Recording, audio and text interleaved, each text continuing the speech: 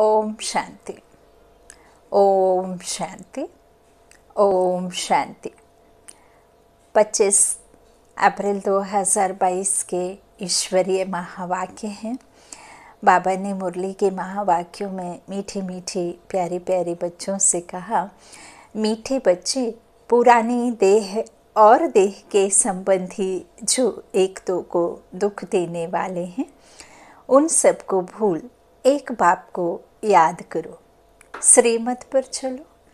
प्रश्न मुरली का बाप के साथ साथ वापस चलने के लिए बाप की किस श्रीमत का पालन करना पड़े? उत्तर में बाबा ने कहा, बाप की श्रीमत है, बच्चे, पवित्र बनो। ज्ञान की पूरी धारणा कर अपनी कर्मातीत अवस्था बनाओ, तब साथ साथ वापस चल सकेंगे। कर्मातीत नहीं बने तो बीच में रुक कर सजाएँ खानी पड़ेंगी। कयामत के समय कई आत्माएँ शरीर छोड़ भटकती हैं। और आप जानते होंगे क्यों भटकती हैं?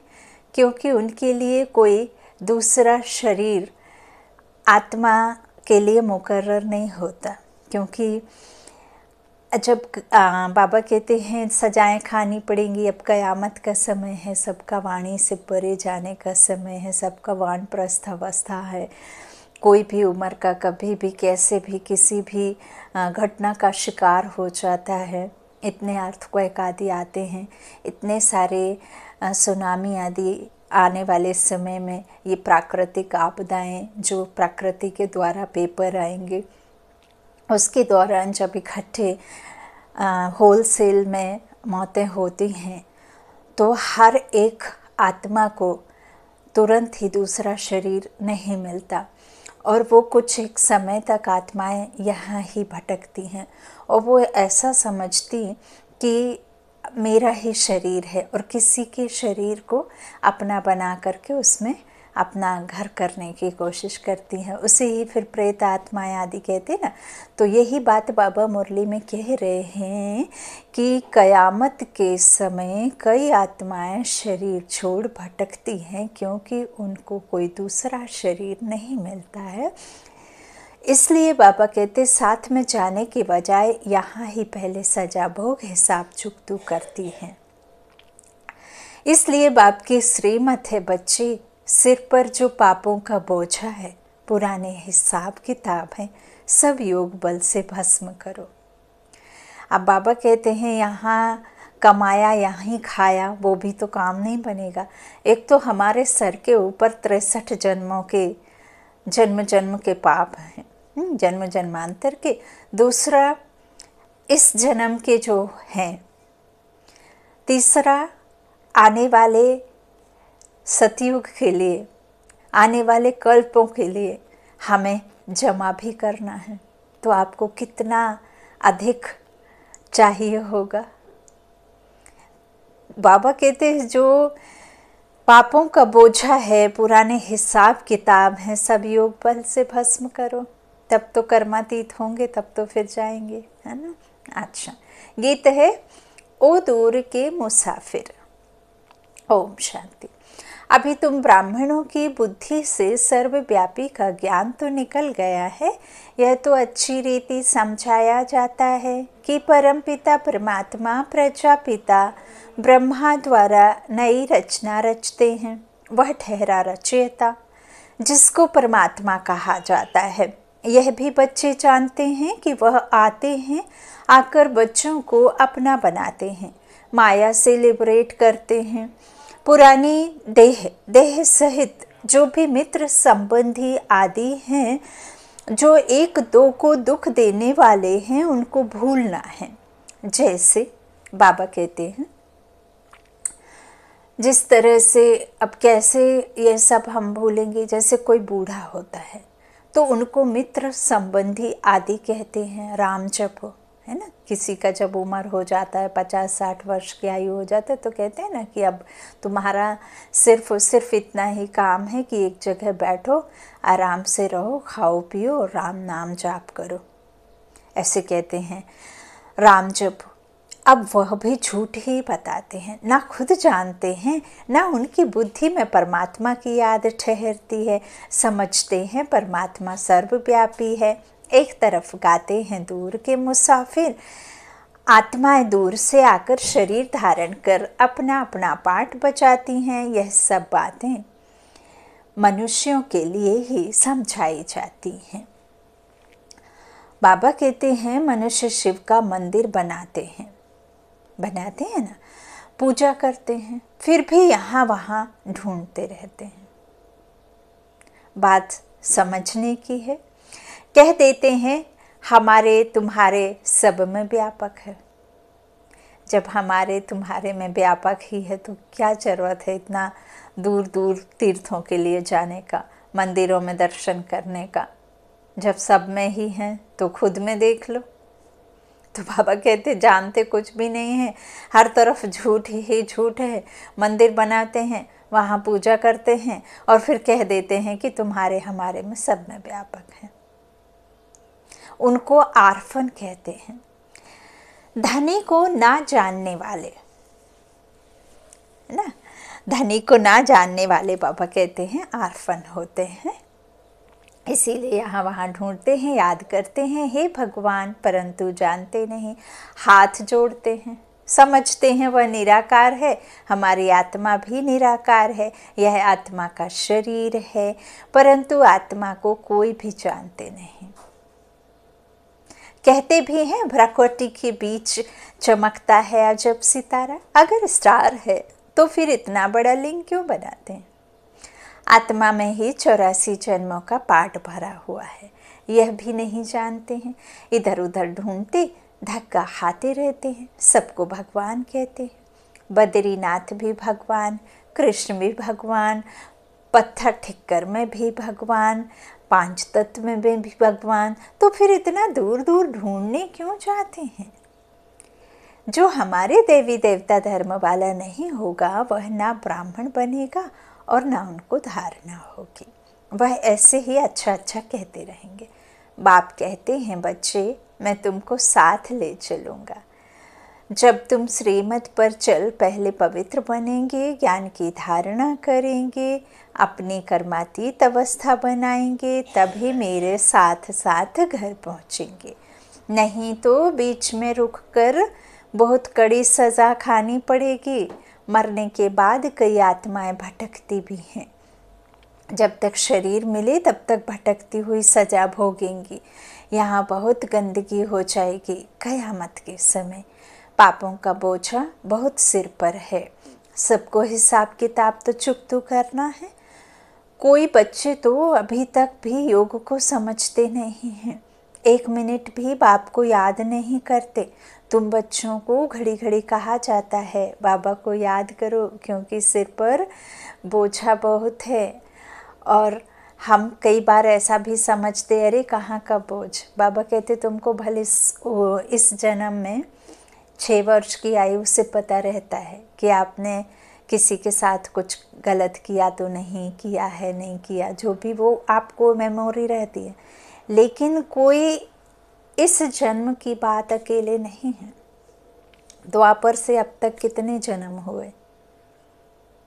कितने वर्ष हुए? जब हमें इस अंतिम जन्म का, इस एक जन्म का अच्छे से याद नहीं रहता तो बच्चे तुमको कैसे पता? कि तुम पिछले जन्मों के बारे में जानते हो कि तुमने कोई पाप नहीं किए। वही पाप विकर्म, वही तुम्हारे द्वारा किसी घटना को अंजाम दिया हुआ हो तो वही तुम्हारे साथ में ये जो दुख सुख है, उनका ही कारण है। वही कारण है है ना? तो ये सब बाबा कहते हैं, अगर मेरे तरफ़ बुद्धि रहेगी, मुझसे योग लगा रहेगा तो तुम्हारे पाप विनाश भी होते जाएँगे, पाप कटते भी जाएँगे। तुम कर्मातीत विकारों से भी मुक्त होते चले जाओगे और तुमको पता भी नहीं चलेगा। आएगा, लेकिन तुम्हारे ऊपर वो बोझ बनकर रहा नहीं रहेगा, है ना? और परमात्मा जो जैसा है, वैसा हमारे में आते जाते हैं। आप कई कई समझते हैं, अरे उनको याद करने से क्या होगा? तो परमात्मा कहते हैं, जो मेरे में है, वो तुम्हारे में आ जाएँगे गुण, है ना? मेरे जैसा तो नहीं, लेकिन मेरे समान तो बन जाएँगे ना? अब वो है ही निराकार, जब हम खुद को निराकार समझेंगे, निराकार स्थिति में स्थित रहेंगे तो हमारे जो देह से संबंध बने हुए हैं, जो दुख सुख का कारण है, वो सब हमें लाइट महसूस होने लग जाते हैं ना, हल्का। हम शरीर से न्यारा खुद को जब समझते हैं तो हमें सब चीज़ें ओछी दिखती हैं, छोटी दिखती हैं। अब वो प्रेम का सागर है, आत्मा शांत स्वरूप है तो आपका शांति का जो स्वरूप है, उस स्वरूप में आप खुद को अनुभव करेंगे तो वैसा आप बनना शुरू हो जाएँगे, है ना? तो ये बाहर से नहीं, अंदर से शुरू हो जाती है। तो यहाँ बाबा वही कहते हैं कि बाहर कुछ भी नहीं है, सब अंदर है। और अंदर वो आत्मा बैठी है, उसका भी ज्ञान मैं आकर के देता हूँ, मैं खुद का भी देता हूँ, है ना? और मुझे भी समझना होता है और तुम खुद को भी समझना है। तो इस तरह बाप समझाते हैं कि कोई कोई बिल्कुल याद नहीं करता। एक मिनट भी तुम बच्चों को घड़ी घड़ी कहा जाता है, बाबा कहते हैं, कि जन्मों का सर पर बोझा है, मनुष्य कहते हैं, परमात्मा सर्वव्यापी है, फिर भी तीर्थों की तरफ़ कितना भटकते हैं। समझते हैं यह सब कर्मकांड आदि करने से हमको परमात्मा से मिलने का रास्ता मिलेगा। बाप कहते हैं, पतित भ्रष्टाचारी तो मेरे पास पहुँच भी नहीं सकते। कहते हैं, फलाना पार निर्वाण गया परंतु यह गपोड़े हैं। गपोड़े मारते हैं, जाता कोई भी नहीं है। अभी तुम जानते हो भक्ति मार्ग में कितने धक्के खाते हैं। मंदिरों की लाइन में लगते हैं, घंटों बारह बारह, दो दो तीन तीन दिन तक लाइन में लग कर के दर्शन कैसे होते हैं। जो दर्शन करने जाते हैं, वह अच्छी तरह इस बात को फील करने के साथ साथ वह सब याद कर सकते हैं। ना बाबा कहते हैं भक्ति मार्ग में कितने धक्के खाते हैं, यह सब शास्त्र आदि पढ़ते पढ़ते मनुष्यों को गिरना ही है। यह भी ड्रामा की नूंद है। बाप चढ़ाते हैं और रावण गिराते हैं। अब बाप समझाते हैं, तुम मेरी मत पर चल। पवित्र बनेंगे और अच्छी तरह पढ़ेंगे तो स्वर्ग में चलेंगे। नहीं तो इतना ऊंच पद पा नहीं सकेंगे। प्रदर्शनी की कितनी सर्विस चलती है, अब यह सर्विस बढ़ती जाएगी। अभी और जास्ती बढ़नी है। गाँव गाँव में जाएँगे, यह है नई इन्वेंशन नई नई पॉइंट्स निकलती रहती हैं, जब तक जीना है, तब तक सीखना है। बाबा कहते, तुम्हारी एम ऑब्जेक्ट है ही भविष्य के लिए। यह शरीर छोड़ेंगे तो तुम जाकर प्रिंस प्रिंसेस बनेंगे। स्वर्ग माना स्वर्ग। वहाँ नर्क का नाम निशान भी नहीं, धरती भी उथल पथा, उथल पाथल कर नई बन जाती है। ऐसा नहीं है कि समुद्र से निकलती है हाँ? बस अपना स्वरूप बदलती है उथल पाथल करके। यह मकान आदि सब खत्म हो जाते हैं। कहते हैं सोने की द्वारका नीचे चली गई। अब नीचे कोई जाति नहीं है, बाबा कहते हैं। यह तो चक्र चलता है। किसका? आत्मा का। इस अखंड का, अखंड कहना चाहिए प्रकृति का। है ना? मिथ्या कह ज़रूर दिया है, लेकिन मिथ्या नहीं है। वह अपना प्रकृति स्वरूप बदलती है। और ये शरीर भी तो बदलता है ना। एक छोड़ दूसरा लेता है तो शरीर पाँच तत्वों से बना हुआ है, इसलिए शरीर को प्रकृति कहा गया है है ना? और आत्मा को पुरुष कहा गया है। आत्मा पुरुष है। अभी आत्मा क्या बन गई है? तमो प्रधान पुरुष हो गई है, ना? सतो प्रधान पुरुष जब रहती है ना तो प्रकृति भी सतो प्रधान रहती है, अथवा शरीर। तो यहाँ पे तो अभी पूरे संसार में सबको ग्रहण लगा हुआ है। कौन सा ग्रहण लगा है? रावण रावण रूपी ग्रहण माया रूपी रा, माया रूपी रावण है ना? पाँच विकारों का ग्रहण सबको लगा हुआ है। बहुत तमो प्रधानता है अभी है ना? ऐसा कुछ होता नहीं है कि नीचे चली जाती है कोई दुनिया द्वारिका आदि और ऊपर निकल आएगी। नहीं बाबा कहती है तो आत्मा का चक्र फिरता है और इस मनुष्य रूपी सृष्टि का भी चक्र ऐसे ही साइकिल चलती रहती है। यह तीर्थ यात्रा आदि सब भक्ति मार्ग हैं। भक्ति है रात। जब भक्ति की रात पूरी होती है तो ब्रह्मा आते हैं दिन करने। द्वापर कलयुग है ब्रह्मा की रात, फिर दिन होना चाहिए। तुम बच्चों में भी नंबरवार हैं। सब तो एक जैसा पढ़ ना सके भिन्न भिन्न दर्जे हैं। प्रदर्शनी में देखो कितने आते हैं। पाँच दस हज़ार रोज आते रोज आते हैं। फिर निकलते हैं कौन? हाँ कौन है? कोटों में कोई कोई में भी कोई। लिखते हैं, बाबा तीन चार निकले हैं जो रोज आते हैं। कोई सात रोज का कोर्स भी उठाते हैं, फिर आते नहीं हैं। जो देवी देवता धर्म के होंगे, वही यहाँ ठहरेंगे। साधारण गरीब ही निकलते हैं, साहूकार भी मुश्किल ही उठते हैं, ठहरते हैं, है ना? बाबा कहते हैं, बहुत मेहनत करनी पड़ती है, चिट्ठी भी लिखते हैं, ब्लड से भी लिख कर देते हैं, फिर चलते चलते माया खा जाती है। युद्ध चलती है, रावण जीत लेता है। हुँ? बाबा कहते हैं, युद्ध जब चलती है ना तो क्या होता है? रावण जीत लेता है, माया के चंगुल में फंस करके हार हो जाती है।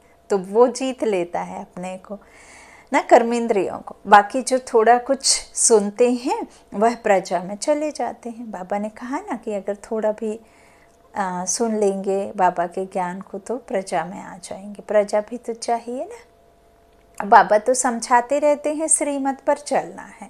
जैसे मम्मा बाबा और अन्य बच्चे पुरुषार्थ कर रहे हैं। महारथियों के नाम तो लिए जाते हैं ना। पांडव सेना में कौन कौन है? उनका भी नाम बाला है। तो कौरव सेना के भी मुख्य नाम बाला हैं। है, मुख्य का नाम बाला है, उसमें भी, कौरव में भी। और यूरोपवासी, यादवों के नाम भी हैं। अखबार में भी जो नामी ग्रामी हैं, उनका नाम डालते हैं। उन सब की परमपिता परमात्मा के साथ विपरीत बुद्धि है। जिसकी प्रीत बुद्धि है, वो बाबा का है। और जिसकी विपरीत बुद्धि है वो विनाश का है। हम्म, तो एक है हाय हा और एक है वाह वाह। विनाश देखते हुए भी वाह वाह। और एक जो है वो बाबा से प्रीत ही नहीं अंतिम जन्म अंतिम समय में है ना? तो बाबा इस तरह आप समझाते हैं कि उन सब की परमपिता परमात्मा के साथ विपरीत बुद्धि है। परमात्मा को जाने तब तो प्रीत रखें यहाँ भी बच्चे प्रीत रख नहीं सकते। घड़ी घड़ी भूल जाते हैं। फिर पदभ्रष्ट हो पड़ता है। जितना पाप रहता है, बाबा कहते हैं, उतना ही याद भी तो करना पड़े, है ना? तो नहीं करते तो पद भ्रष्ट हो जाता है। अब जितना बाप को याद करेंगे, उतने भी कर्म विनाश होंगे और पद ऊँचा मिलेगा। दूसरों को भी आप समान बनाना है, रहम दिल बनना है और अंधों की भी लाठी बनना है। कोई अंधे, कोई काने, कोई झुंझार होते हैं। यहाँ भी बच्चे नंबर बार हैं। ऐसे फिर साधारण प्रजा में नौकर चाकर जाकर बनेंगे। भरी ढोएँगे, पढ़ेंगे नहीं तो पुरुषार्थ नहीं करेंगे तो। आगे चलकर तुम सब साक्षात्कार करेंगे। ईश्वर को सर्वव्यापी कहना यह कोई समझ नहीं है। ईश्वर तो ज्ञान का सागर है। वही आकर तुम्हें ज्ञान दे रहे हैं। राजयोग भी सिखला रहे हैं। श्री कृष्ण की आत्मा जिसने अब चौरासी जन्म पूरे किए हैं, अब वह राजयोग सीख रहे हैं। कितनी गुहा बातें हैं। इस समय सभी बाप को भूलने के कारण महान दुखी बन पड़े हैं।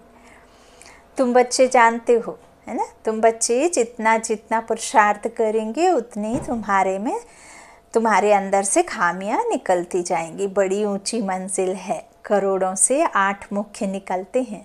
फिर एक सौ आठ की माला बनती है। फिर है सोलह हज़ार। यह भी भीति दी जाती है पुरुषार्थ करने के लिए।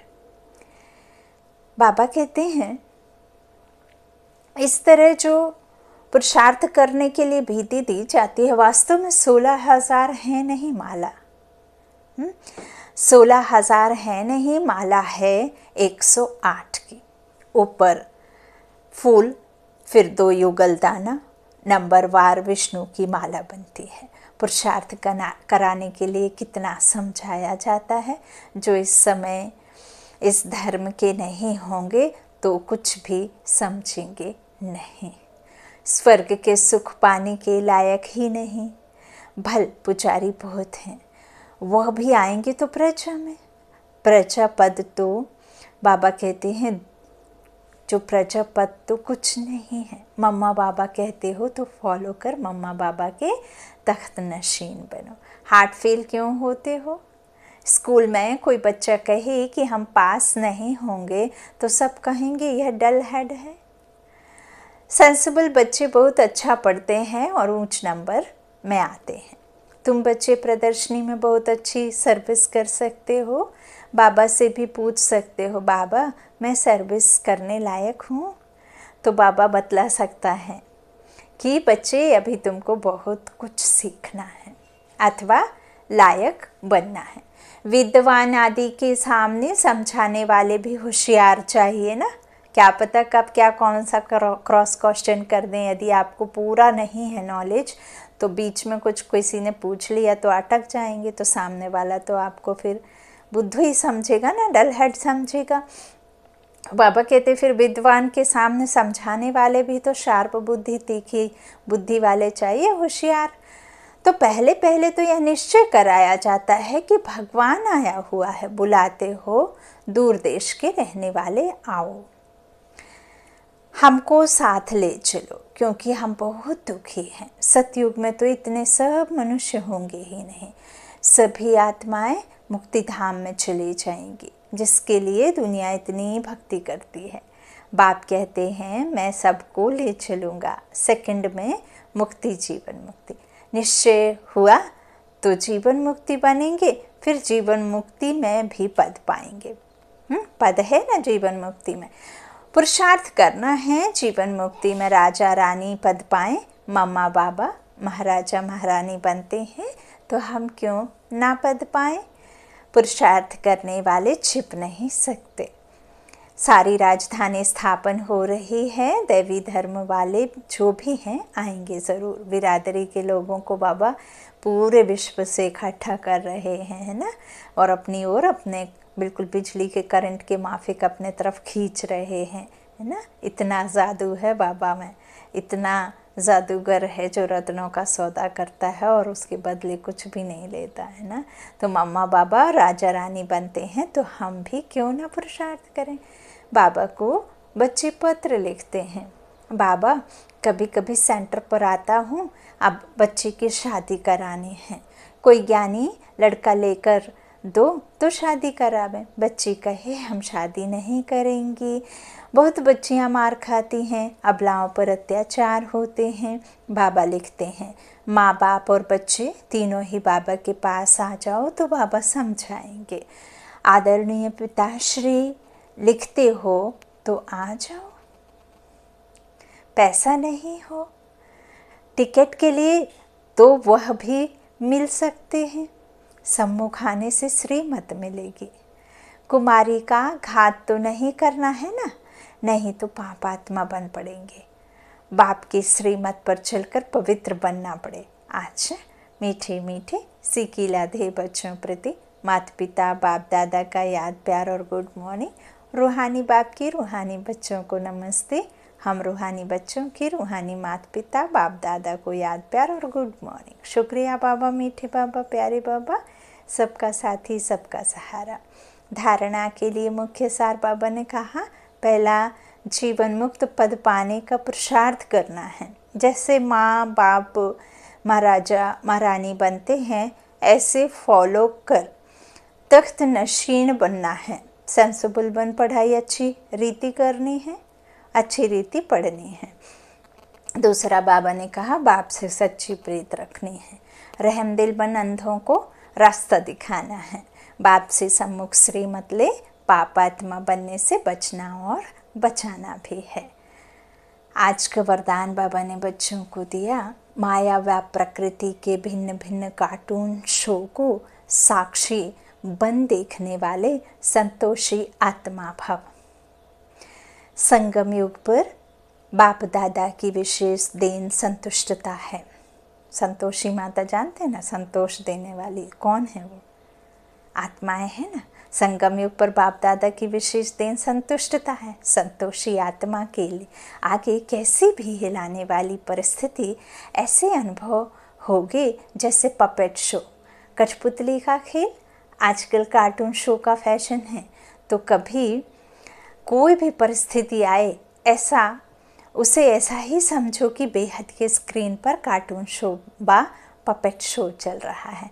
माया व प्रकृति का यह एक शो है, जिसको साक्षी स्थिति में स्थित स्थिति में स्थिति हो। अपनी शान में रहते हुए संतुष्टता के स्वरूप में देखते रहो, तब कहेंगे संतोषी आत्मा। आज का स्लोगन बाबा ने दिया, किसी भी प्रकार के डिफेक्ट से परे रहना ही परफेक्ट बनना है। किसी भी प्रकार के डिफेक्ट से परे रहना ही परफेक्ट बनना है। अच्छा मातेश्वरी जी के अनमोल महावाक्य, परमात्मा का सच्चा बच्चा बनने कोई संशय में नहीं आना चाहिए। बनते समय कोई भी मन में संशय ना आए। ईश्वर का बनते समय या बन गए हो तो या बनने के बाद, है ना?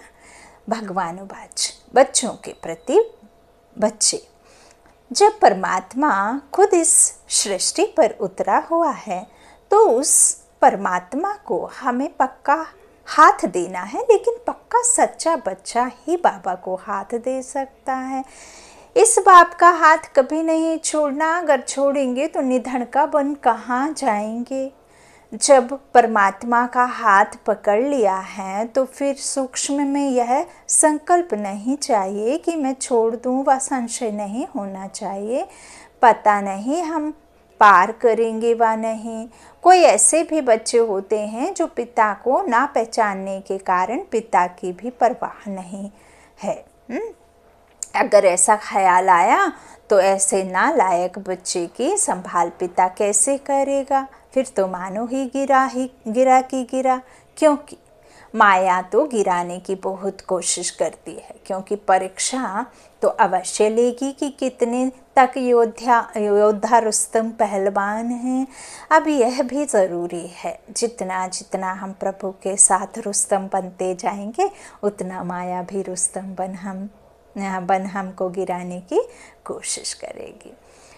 जोड़ी पूरी बनेगी, जितना प्रभु बलवान है तो माया भी उतनी बलवानी दिखलाएगी।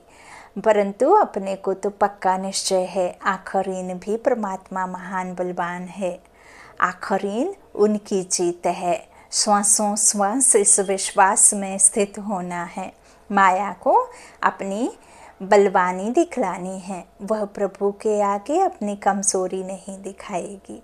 बस एक बारी भी कमज़ोर बना तो खलास हुआ। इसलिए भल माया अपना कोर्स, फोर्स दिखलाए। परंतु अपने को मायापति का हाथ नहीं छोड़ना है। वो हाथ पूरा पकड़ा तो मानो उनकी विजय है। और वो हाथ आपको ऐसे नहीं दिखेगा जैसे आप अपने लौकिक पिता का पकड़ते हैं या अपनी लौकिक माँ का या कोई साथी संगी का। वो तो सिर्फ़ सिर्फ़ उसकी याद से आपको ऐसा अनुभव होगा, आपके अंदर में ऐसा बल भरता जाएगा कि आपको लगेगा कि वो मायापति का हाथ हर क्षण, हर पल मेरे साथ बंधा हुआ है और मुझे बहुत कड़े से पकड़े हुआ है। तो आप कभी भी किसी भी मुश्किल में पड़ोगे तो गिरेंगे नहीं।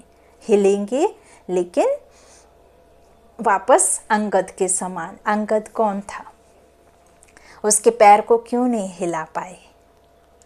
क्योंकि बाकी सब अहंकारी थे, और वो एक था जो दृढ़ निश्चयी था, जिसकी वजह से उसका पैर हिला नहीं पाए। वो राम का नाम लेकर के उसको निश्चय था, और ये सब अहम में थे। अहम हार गया, निश्चय जीत गया। अच्छा तो यही बात है।